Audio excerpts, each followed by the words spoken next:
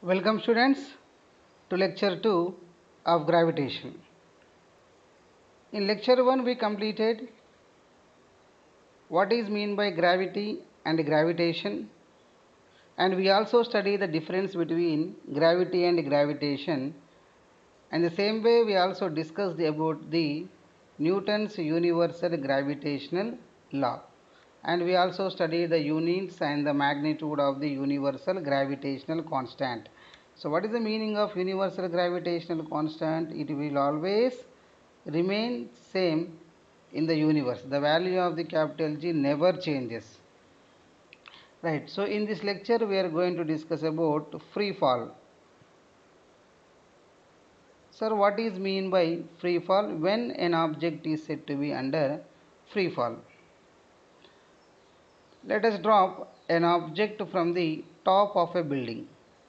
So when an object is dropped from the top of a building, when we neglect the air resistance or air friction acting on it. So what will happen?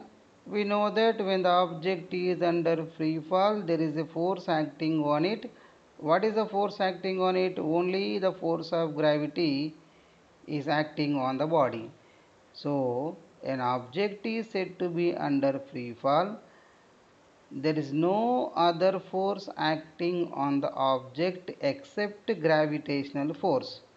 Then that kind of bodies are said to be under free fall. Okay now so except gravity no other force should not act on it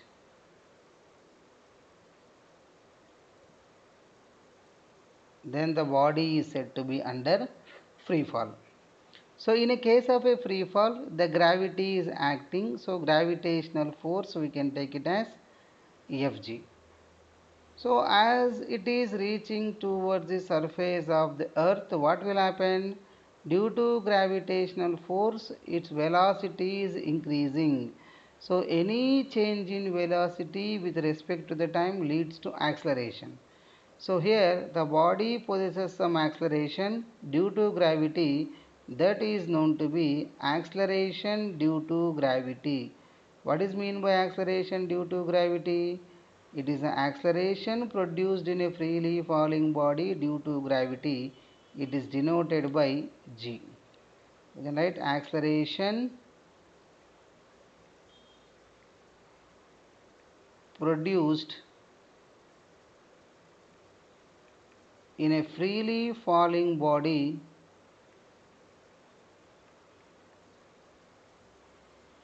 due to gravitational force of earth. Sir what is the value of acceleration due to gravity on surface of earth so acceleration due to gravity on surface of earth we can take it as 9.8 meter per second square it is SI value and in CGS terms if you want to write its value 980 centimeter per second square. So here we need to discuss one important point. So we, we have given three different bodies. So one is of 1 kg, another is of 2 kg. So two bodies are dropped from the same height. Then they are asking the acceleration produced in the bodies will be they are ask, they give, going to give a1 greater than a2 a2 greater than a1 and a1 is equals to 0 and a2 is not equals to 0 and the last option will be a1 is equals to a2 so under the negligence of the air friction so when we are neglecting the air friction so what will be the acceleration produced in 1 kg body and 2 kg body? So here the whatever the acceleration produced in a body when we are neglecting the air friction so both the bodies are attracting towards the earth with the same acceleration so that will be is equals to object a is 9.8 meter per second square. Object B is also 9.8 meter per second square. That means acceleration due to gravity G is independent on mass of the object. Okay very very important. Most of the students going to confuse. So two bodies are given one is 1 kg uh, one is 10 kg another one is 5 kg so which body will accelerating towards the earth with greater? So our answer will be both the bodies will accelerating towards the ground with the same acceleration. Sir is there any case we feel we are under free fall? Yes so when you are moving in a lift so for suppose the lift is at a for suppose you are in a fourth floor. So just you are going to start the lift. So when the lift is reaching the ground at the time of starting of the lift in vertically downward direction here only the gravitational force acting no other force acting on it. So when the person is in a lift so he feels under free fall. In the same way in artificial satellites so in artificial satellites the person will feel the they are under free fall only. That's why they are wearing the particular types of the shoots so when they are in a artificial satellites. In the same way in a giant wheel. So in a giant wheel if you are moving from uh, bottom to topmost of its point so at this point when you're coming down from this instant so you feel that you are going to be fall suddenly. So when you're going to fall suddenly because of what kind of nature you are going to apply you feel that because at this topmost point only the gravitational force is acting on you no other force that's why it is a very very dangerous point. So most of us are going to panic at this position only. Why? Because at this point we are going to fall suddenly under the influence of the gravitational force. In these cases we can see the object will be under free fall. Okay so these are the different cases we can come across when the bodies will be under free fall right. Now let us discuss the relation between acceleration due to gravity relation between acceleration due to gravity and gravitational constant. So gravitational constant is capital G so we are going to derive the relation between small g and capital G so I told you that already the gravity is a phenomena or the property of heavy bodies like uh, planets, stars and heavy satellites. So heavy objects are possessing the property of gravity. So gravitational force nothing but what? Force of attraction between the two bodies due to their mass is known to be gravitational force. What is mean by gravity? the force of gravi the gravitational force acting on the body due to heavily bodies that is known to be force of gravity so gravity is the property of any planet now let us take a planet whose mass is capital M and radius of the planet is capital R now an object is under free fall from a particular height. So when the object is under free fall for, from small heights, so h is much less than capital R. So here are two types of forces are acting. One is force of gravity in the same way gravitational force. I am writing force of gravity. Force of gravity we can write Fg is equals to mg. So mass into acceleration due to gravity. Sir, why you are writing this formula for force of gravity? So what is force of gravity? Force acting on the body. So force acting on the body according to Newton's second law we can write F equals to ma. So F it is what kind of force? Gravitational force and m mass of the body. So due to this force what is the acceleration produced in it? G will be the acceleration produced. That's why we are writing force of gravity as mg.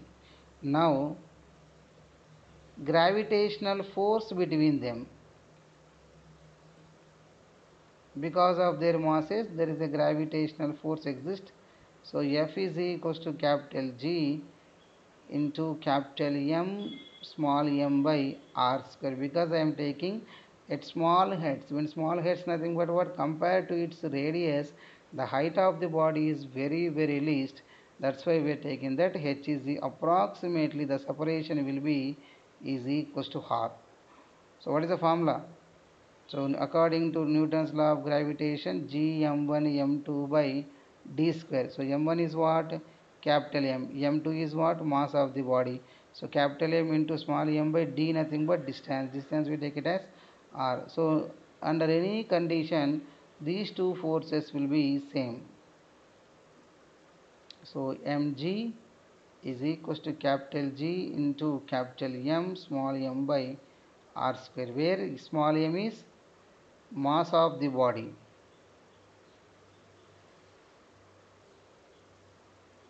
okay capital G mass of planet sorry capital M mass of planet R is radius of the planet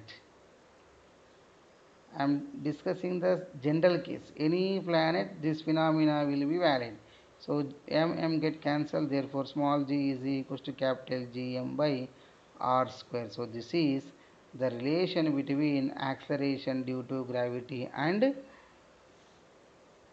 gravitational constant. So from this relation we are going to get some important conclusions. Let us discuss that what are the conclusions we are getting from that formula. So G is equals to capital Gm into R square. So this expression there is no involvement of the mass of the body that is acceleration due to gravity on any planet is independent on mass of the body. So it never depends on mass of the body. That means whatever the mass of the body it may be just now I told you already. So 1 kg 2 kg both are dropping from the same height above the surface of the earth.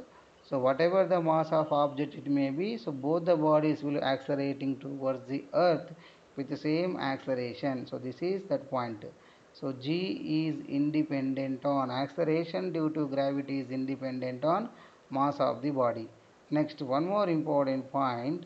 So you can see the relation between acceleration due to gravity and mass of the planet. So acceleration due to gravity small g is depends on mass of the planet. That is, as the mass of the planet increases, the acceleration due to gravity will also increases.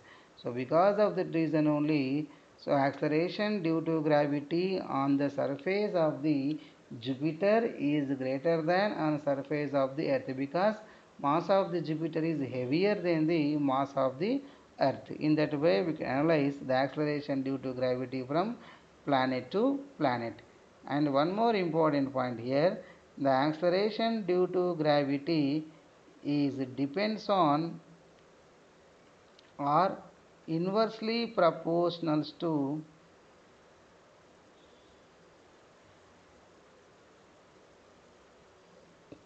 square of the radius of planet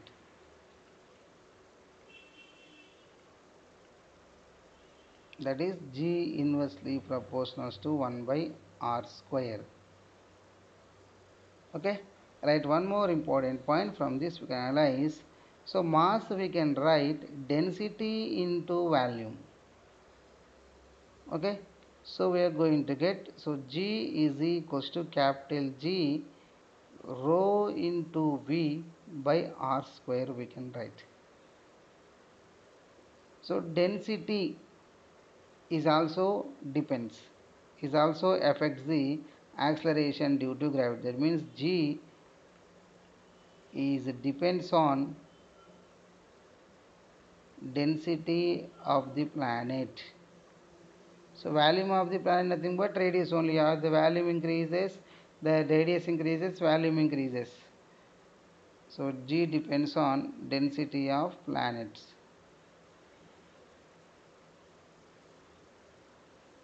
So these are the important points from this expression. Now let us study these expression for the earth. So we know that our earth is not a perfect spherical in shape. So it will be somewhat like oval in shape. So if you observe the radius, the radius of the planet or radius of earth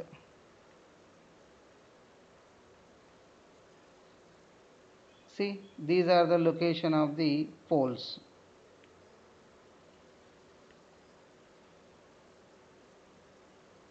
So north pole and south pole.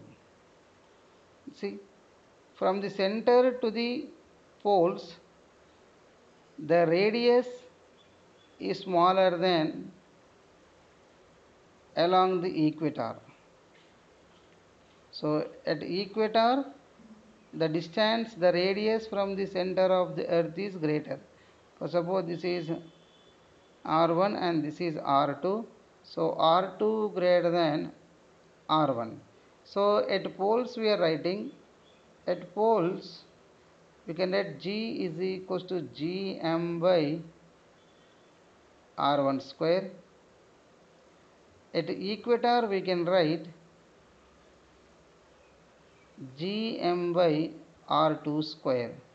So which is greater r2 greater than r1 that's why from this we are going to get so r is smaller g will be more. Therefore acceleration due to gravity at pole is greater than acceleration due to gravity at equator because at equator the radius of the earth is maximum so this is the relation between acceleration due to gravity at pole and acceleration due to gravity at the equator. So acceleration at poles is maximum, then acceleration at equator. Write this point. Right, next one. Sir, how can we find out the acceleration due to gravity? So finding G on earth. So what is the formula? G is equals to Gm by R square. So we know the values of capital G as 6.67 into 10 to the power of minus 11. Unit will be Newton meter square by kg square. And what is mass of the earth? Mass of the earth will be 6 into 10 to the power of 24 kg and the radius of earth is 6400 kilometer. So we need to convert the 6400 kilometer into meter by multiplying with 1000 therefore 64 into 10 power of 5 meter. So after substituting these values in this expression 6.67 into 10 to the power of minus 11 into G 6 into 10 to the power of 24 by 64 into 10 power of 5 after simplifying this we are going to get 9.8 meter per second square is the acceleration due to gravity. So if you know the mass of the planet and radius of planet we can able to find out the acceleration due to gravity on surface of that particular planet Sir, what will be the acceleration due to gravity on surface of moon? So acceleration due to gravity on surface of moon is equal to 6 times less than the acceleration due to gravity on surface of earth. That is, it will be is equal to 9.8 by 6 that we are going to get acceleration due to gravity on moon will be 1.67 meter per second square. So because of this less gravitational force only, there is no atmosphere. There is no atmosphere on surface of moon. So due to less gravity, why there is a very uh, very why there is no atmosphere because on the surface of the earth because of the more gravitational force that gravitational force helps to hold the atmosphere on the surface of the earth. So during the at the time of formation of the earth so many gases will be there. So that gases can be trapped with the help of the gravitational force of the earth. But in case of a moon what happens here? So this moon when it is formed some gases are present on its atmosphere so because of its less gravity what happened? These gas molecules are escaping from the surface of the moon. So because of less gravity even it unable to hold very light molecules also. That's why the atmosphere is completely vanishing on the surface of the moon. So we cannot communicate on the surface of the moon because there is no atmosphere. So for the communication compulsory we need a medium. So sound wave is a what kind of wave? Longitudinal wave. So for the longitudinal wave or mechanical wave definitely we need medium. So without medium we cannot communicate. Sir what will be the acceleration due to gravity of sun? So nearly it will be 26.7 meter per second square. So because of this greater acceleration due to gravity of sun. The sun can able to trap even very very light gas molecules like hydrogen helium in a great manner. So the presence of hydrogen and oxygen the 90 percentage of the so energy we are getting from the hydrogen and helium. The hydrogen molecules are combining due to high temperatures then it will going to participate in a kind of reaction called fusion. So due to nuclear fusion the hydrogen molecules are combining so they are going to give the energy continuously from million millions of years. So this is about the gravitational acceleration due to gravity. Okay na?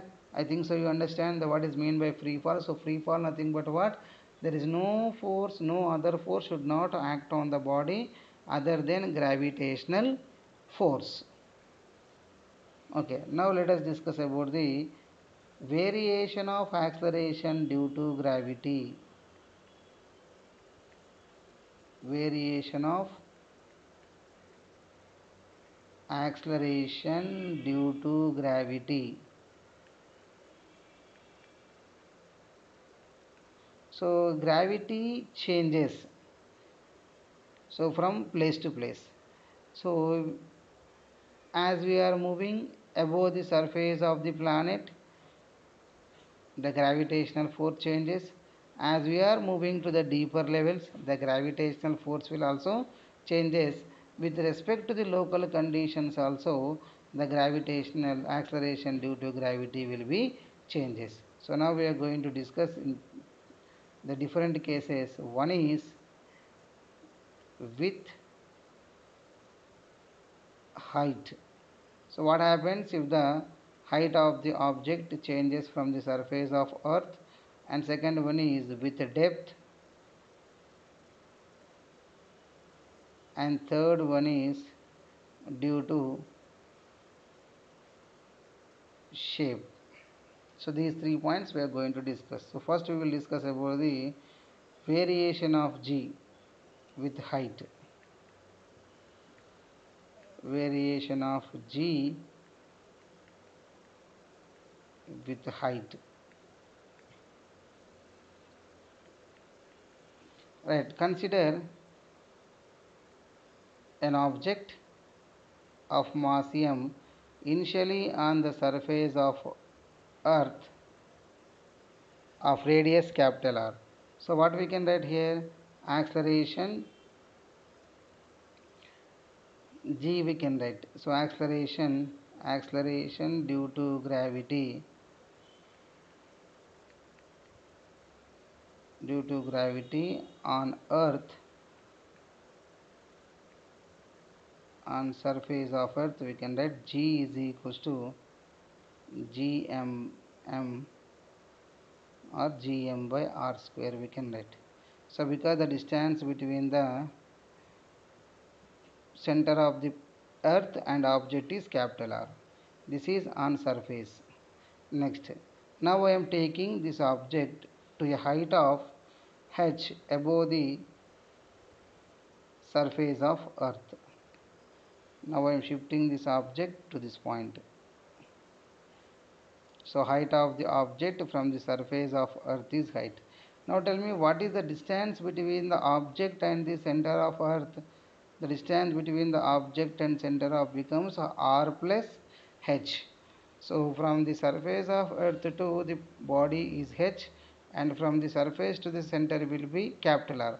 Therefore the distance between the object and the center of the earth will be r plus h. Right. Acceleration due to gravity at a height h I am writing gh is equals to g capital M no change in the mass of the planet so what the distance will be changed that we can write r plus h whole square. Now let us divide equation number 2 by 1. So gh by g equals to gm by r plus h whole square by gm by r square. So we can cancel gm and gm and this will be denominator of denominator that we are going to get r square by r plus h whole square okay so see from the numerator I am going to get the common r square. So if I am taking r square outside in the bracket we are going to left h by r whole square. So because r I am taking if I am taking r here r will come. If you bring this into the bracket again the expression will remain same. We are going to cancel. So r square and r square. Therefore gh by g is equals to 1 by 1 plus h by r whole square. So our aim is to find at height gh is equals to g by 1 plus h by r whole square. Right. So now see the expression carefully. From this expression we can conclude that the height values will be inverse proportion. So if the height increases then what will happen? G value is going to be reduced. So right as h increases g decreases that means as we are moving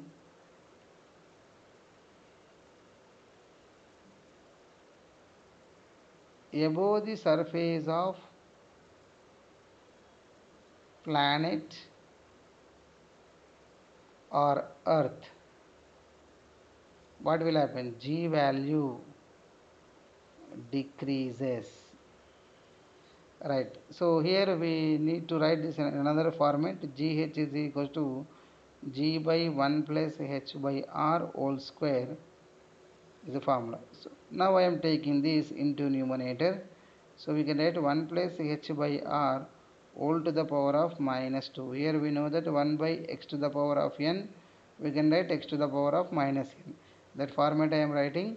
So 1 plus h by r whole square nothing but what g times of 1 plus h by r whole to the power of minus 2.